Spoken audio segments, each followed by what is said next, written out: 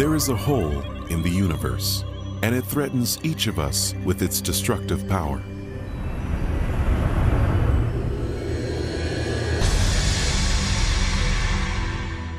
I'm not talking about the mysterious black hole in the center of our galaxy that devours everything around it in a whirlpool of gravity. Or the supervoid, a cold, barren cavern in space so massive it drains energy from any light that passes through. No, this hole, so potentially dangerous, is located much closer to home. For deep within every human heart, there is a spiritual void and a haunting emptiness that breeds anxiety, discouragement, fear, and an unquenched longing for true happiness and purpose. The philosopher Pascal called it the infinite abyss, and it's a vacuum we try to fill in a thousand different ways.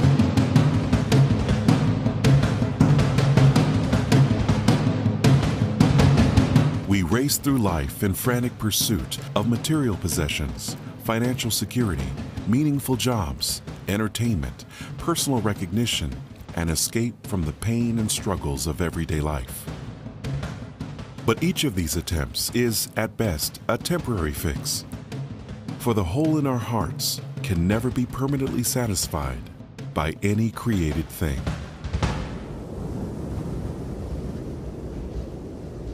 Two thousand years ago, God entered the world to fill the hole forever.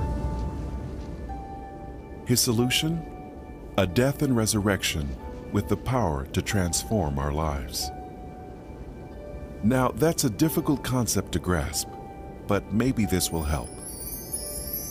In the original Greek of the New Testament, the word for transformation is metamorpho. It is the root of the English word metamorphosis, the term used for an extraordinary event that occurs in nature.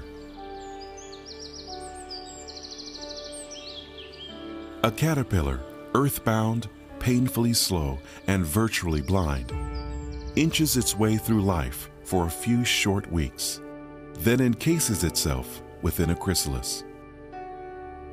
Here inside a paper-thin shell, the caterpillar's body is broken down cell by cell. This is no death wish. Instead, the insect's deconstruction is the gateway to an entirely new way of living.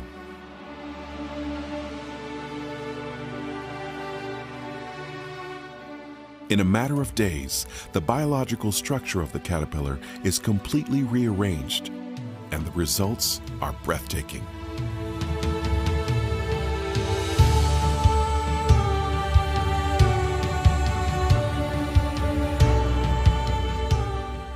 This incredible change is a metaphor for an even greater transformation God can perform in each of us the metamorphosis of our heart, mind, and spirit.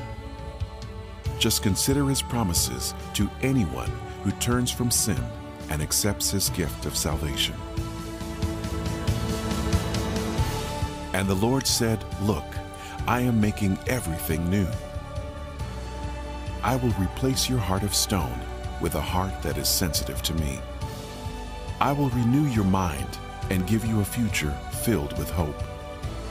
Come, you who are weary, and I will give you rest. For I know your hardships and care about your sufferings.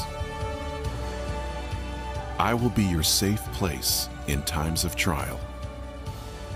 I will forgive your sins and remember them no more. In this world, you will have trouble, but take heart. I have overcome the world.